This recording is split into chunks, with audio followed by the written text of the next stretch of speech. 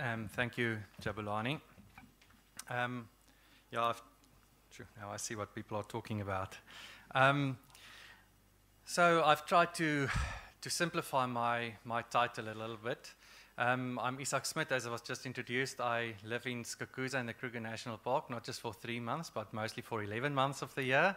Um, but it's great to be here, and I um, decided to not talk about Kruger today to you guys, but to talk about some of the thinking that's been going in in some of our smaller national parks. Um, and that is in terms of our integrated herbivore removal decision making. So I don't think I need to preach to this group in terms of why we need to do herbivore removals in small protected areas. I think we're all familiar with that, that if you put a fence around it, you immediately exclude certain processes happening in these parks, like migration in and out of those areas. You also don't have the full um, predator guild there. You change the predator-prey relationships. And because of these missing ecological processes, you quite often get um, veld degradation if you don't manage your herbivore populations. And that's sort of on the one side of it. Um, then I put that next bullet there because I was paying attention yesterday about the biodiversity economy. So this also presents us some opportunities to be part of this um, wildlife economy and in terms of revenue generation for, for managing our parks. So in terms of herbivore removals in SANParks, we've got our big, our large, what we call processed parks like Kruger and the Kalahari, where predation and migration and movements are still um, to some degree intact. So we do minimal herbivore um, interventions there. Um, we also have other um, parks but we don't have many large mammals we don't really need to intensively remove the one elephant in the Garden Route National Park. So we, we've got some of those parks, but actually most of our parks in SANParks, we need to actively manage the, the herbivore um, numbers, or at least think about it actively. So what happens is each park um, every year writes a proposal that goes to the um, uh, Wildlife Management Committee meeting in SANParks. It's a bit like our own little CITES, um, where they then basically approve or ask for more information in terms of herbivore management in our smaller parks. I'm just talking today about herbivore removals, but they also discuss um, reintroductions um, or introductions if some of the species has sort of fallen into a predator trap or something like that. Just to give you some context of how our thinking have changed um, in SANParks over the past couple of years, our historical paradigm was, I suppose, what would have been described by Samantha on the first day as a simplistic and a linear view of the world, where you would have your um, fixed stocking rates. It's quite nice. You've got your line. You go, you fly, you count, you see how many animals you get. You use a calculator, you subtract, and you know how many animals are surplus and that can be removed.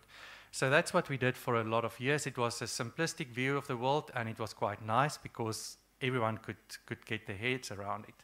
But it ignores spatio-temporal variability. If you think about the Karoo parks that we manage, you had these boom and bust cycles in these parks, and now suddenly we say constant, constant, constant, which is highly un, um, uh, unnatural, and it suppresses fluxes. And I think we've moved away from this sort of more agricultural view of the world and ecology and conservation are parting in some, some respects.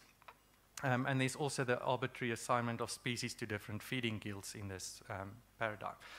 So then the scientists in SANParks started thinking about new ways of thinking about it, and we, um, our current paradigm is to embrace spatio-temporal variability, and also not looking at the animal numbers, but looking at the role of the animals, of the herbivores in the park, and looking at the impact of the animals. So you can think about bush encroachment, you can think about the loss of tall trees, you can think about the creation of um, grazing lawns, etc. So some positive and some potentially negative effects of herbivores in these parks. Um, and if you think about it, you might have certain years where it's like very green and you had high rainfall, so you can have high herbivore numbers and it wouldn't really have such a big impact. But other years you might have lower animal densities, but the, you're going through a drought period, and that's when the animals would have moved out of the park potentially. So then lower numbers can actually be more detrimental than higher numbers in other years. So we were quite excited about our new approach. But what happened is we had this new approach, but we had no way to deal with our new approach. So we would go to our managers and we would tell them all the stuff about complexity and embracing spatiotemporal variability and fluxes and so forth. And they would, they would not, and they would be, okay, okay, we, we, we hear what you say, we buy it. And then they would say, so should we remove herbivores this year? If yes, how many and of which species? And then the scientists are a bit annoyed by that answer. But really, if you're a manager, that is what it boils down to. Um, I remember once going out into the field with managers, and it was a lot of fire ecologists, and we had all these nice, robust academic discussions in the field. And then the ranger came to me and he said, So, should we burn or should we not burn? Okay. And, and I think we really need to come out of this complexity mode into a requisite or um, profound simplicity in terms of helping our managers to, to manage the parks. Um, so if you're the manager of Golden Gate National Park, this is actually in South Africa, this is not the Serengeti. Um, unfortunately, you can't get there with the tourist roads, we call it the Little Serengeti. Um, and if you're the manager of Golden Gate National Park and you see all these blesbok running around, this is a pretty good question to ask. Should we remove or not? So we realized that we need to really come up with an integrated decision-making system in, in these parks, um, where we integrate both the animal aspect and the plant um, response to it. We need to in, um, integrate the scientist perspectives and the management perspective. So it's not the scientists telling the managers what to do or waiting for the managers to tell us what they are doing. Um, also, uh, taking um, into account both qualitative and quantitative approaches. I like numbers, I like Excel spreadsheets, but the more and more I work in these complex socio-ecological systems, the more I realize how much information is in the qualitative, um, and that one really needs to take that into consideration as well when you make decisions. Um, we've got field data, but then as Jolene introduced on the first day, there's new incredible technology in terms of remote sensing. So we should also integrate different sources of, um, of information. And then I don't quite know what to call it, but I talked about soft opinions and hard models. Okay. And I think um, we need to integrate both of that as well. So translating that a little bit into what's the information layers that we need to, uh, to get these integrated decision-making framework, um, we've come up with the following information sources that now go into our herbivore removal decision-making. You can see them listed there, and then on the right-hand side you can see it's sort of animals and plants, and science and management and field and remote sensing, hard and soft, etc.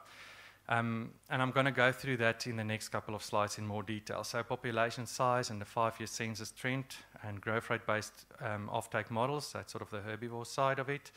Then field-based vegetation assessments as well as remote sensing vegetation assessments, the management recommendations, and then the narrative for the qualitative, where you can talk about risks and logistics, etc., the stuff that you can't quite capture in, in numbers or in the scientific um, process. Okay, so if we go through some of it, um, some of it might seem very intuitive, but it's surprising how often it's not actually used in, in making decisions. So I think it's one thing to say you're doing it, but it's one thing to be quite explicit about it. So we look at the population size and the five-year census trend. So that's really, you can think if you've got a big population of a species in a certain park and the numbers are increasing, you might potentially consider them for removals. If you've got a small population or the population is declining, they're already responding to the environment or they're already capped by natural processes there or be because of the habitat, um, or they are in peril for another reason. So if your trend goes up, you might consider them for removal based on what the other information say.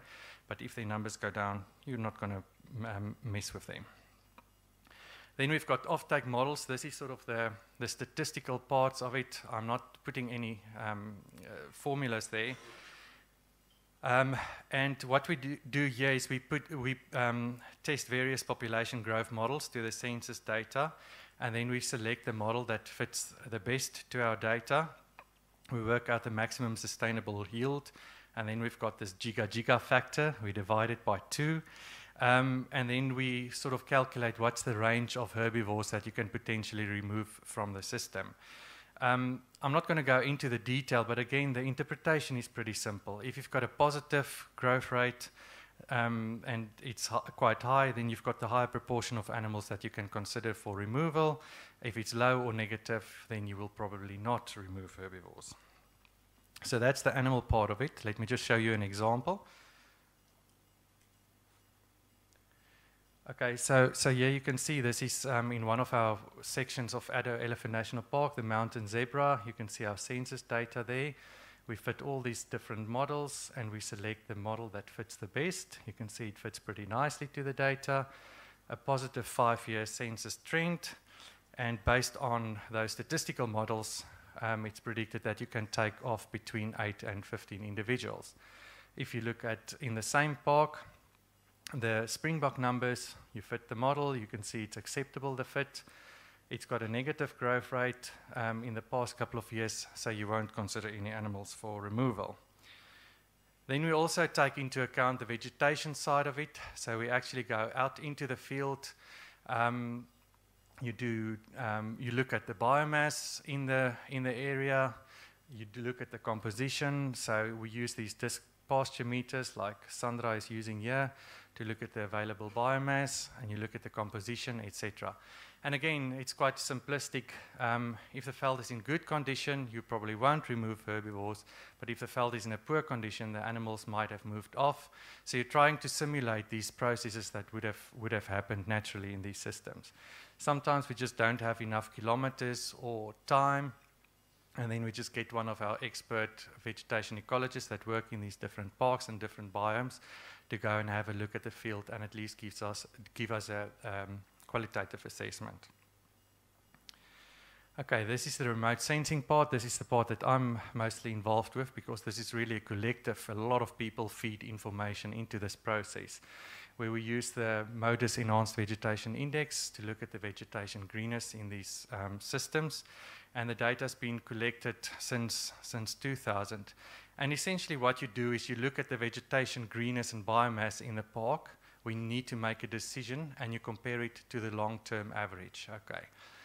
So typically in a situation like this, you would, for example, consider herbivore removals because the animals would have moved off.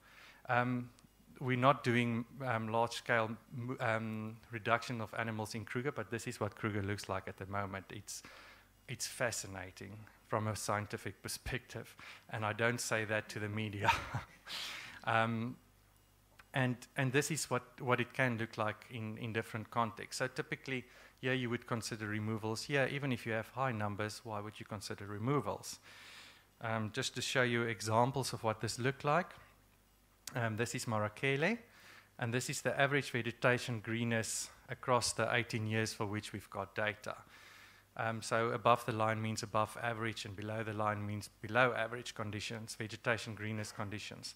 So what you can see is across this 18 years, the past year was actually the lowest um, average vegetation greenness that we've ever seen in the park.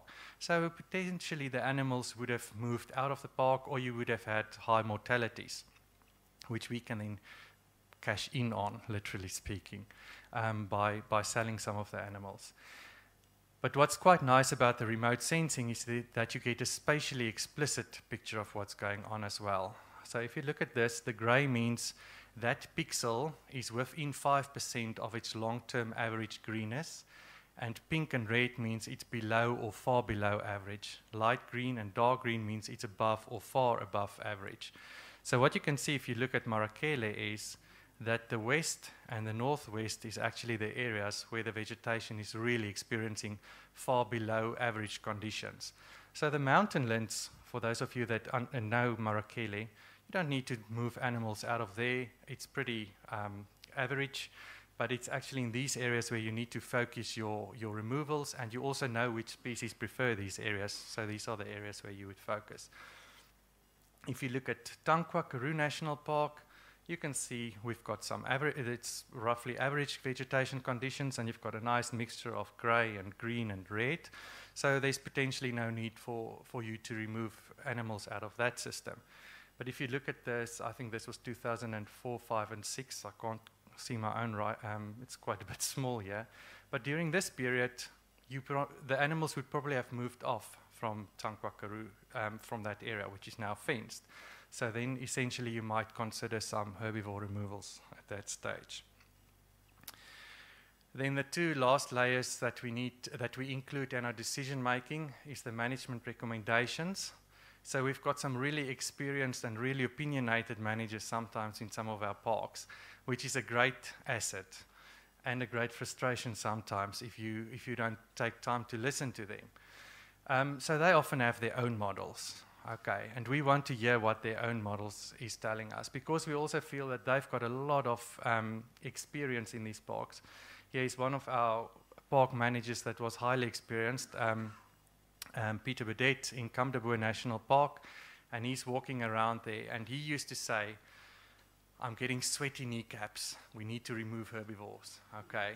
So that's what I call the sweaty kneecaps test. If Peter Burdett gets sweaty kneecaps, he integrates a lot of information and a lot of experience and a lot of background when he comes up with sweaty kneecaps. So I think the sweaty kneecaps, some people call it the gut feel, etc. I think that's an incredible important information system that we need to embrace.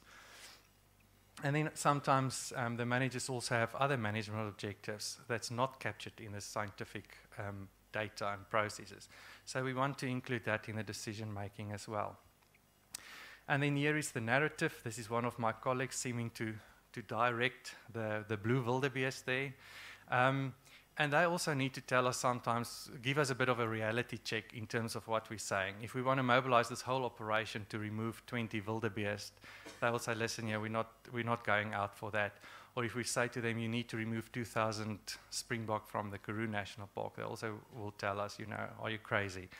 Um, so we need to look at the logistics, we need to look at the prices and the costs, we need to look at the risks, and we also look at the seasonal predictions for the coming season. So if you've had a far below average year, and the predictions are you're going to have another of those years, you might be more aggressive in your removals than when, um, when they're predicting um, average or above average conditions.